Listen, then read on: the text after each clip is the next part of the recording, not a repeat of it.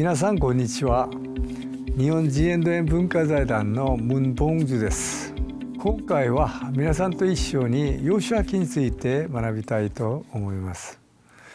モーセは地上で最も謙遜な人でした。しかしカナンの地に入ることはできませんでした。神はモーセの従者であったヨシュアを通してイスラエルの民を約束の地に導かれました。ヨシュアはヘブル語ですがギリシャ語では神の国に導く人という意味のイエスとなります。ヨシュアは神の国になるはずのカナアンの地にイスラエルの民を導きました。ヨシュアつまりイエスはまさに私が道であり真理であり命なのです。私を通してでなければ誰一人父の身元に来ることはありません。の御言葉のように神の国に導くものなのです。ヨシュア記では二人の偵察隊をカナンの地に使わす話からエリコをはじめとするカナンの地を征服し十二部族に土地を割り当てる話が記録されています。まず2章では二人の偵察隊と雄三ラハブの話です。3章は神様がヨルダン川を分けてくださりイスラエルの民を渡っていきます。4章から5章では神様の指示に従いさまざまな形の礼拝を捧げる場面です。まず神様の恵みでヨルダン川を渡っていき乾いた地を渡っていたという神の恵みを褒めたたえるために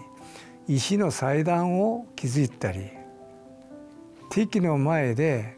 自分の力で戦うのではなく神様だけを頼りにするという意味で大胆に割礼を受けたりします。また杉越の祭りにより子羊の血潮による礼拝を捧げるなどをしたら主の軍の将が武装して現れます。カナンの征服戦争はヨシュアとイスラエルの民が戦うのではなく主の軍の将の戦いです。6章でエリコの城壁はイスラエルの民が周囲をくるぐる回るだけで崩れます。神様は出エジプト23章23節で私はあなたの前に見つかいを使わしカナンの七部族を消し去ると言われた通りであります七八章では小さい愛という町を攻めて失敗する話が出ますが悔い改めて勝利する話に続いて9章から12章まではカナンの南北連合軍を打ち滅ぼして征服します。さあ残りの13章から24章までは征服したカナンの地を割り当てる場面です。その後ヨシュアは召される前にイスラエルダミと契約を結びます。ヨシュアは24章15節で「私と私の家は主に仕える」と宣言し民はこれに対して24節で「私たちの神主に仕え主の御声に聞き従いますと答えます。これがいわばシュケムの契約です。吉明の主題は礼拝の力です。礼拝による霊的戦いの勝利であります。ヨシアによる征服戦争とはカナンの地に住んでいた7つの部族がパールの神々に仕えたので